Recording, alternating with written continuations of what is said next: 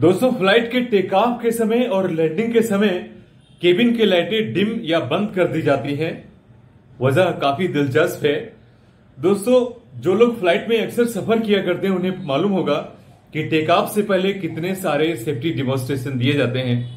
जैसे seat belt पहनने के बारे में, मोबाइल फ़ोन को फ़्लाइट मोड या स्विच ऑफ़ करने के बारे में।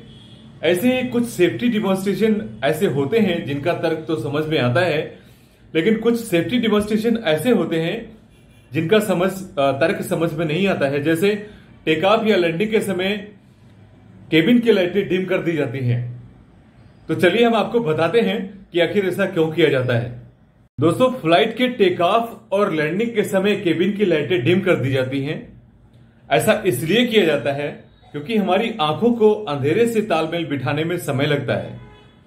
अंधेरे को समायोजित करने के लिए हमारी आँखों को 10 से 30 सेकंड के बीच का समय लग सकते हैं।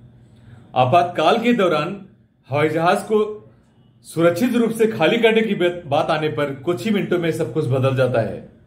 दोस्तों एक पायलट के अनुसार टेक ऑफ़ और लैंडिंग एक ऐसा फ़ेज़ होता है जहाँ पर दुर्घटनाओं की पॉसिबिलिटीज ज़्यादा होती हैं, ज़्यादा दुर्घटनाएँ होती हैं। बोइंग के सर्वे के अनुसार लैंडिंग एक ऐसा फ़ेज़ है जहाँ उनचास से ज़्यादा, फोर्टी नाइन परसेंट से ज़्यादा एक्सीडेंट्स होते हैं।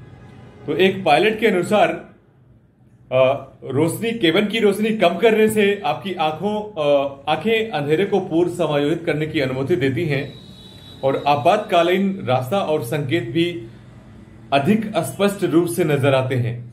उन्होंने ये भी बताया कि लाइट को विशेष रूप से टेक ऑफ़ और लैंडिंग के समय डिम कर दिया जाता है क्योंकि इसी समय सबसे ज़्यादा विमान दुर्घटनाएँ होती हैं। इसलिए एयरलाइंस टेक ऑफ़ और लैंडिंग के दौरान केबिन की रोशनी बंद कर देते हैं।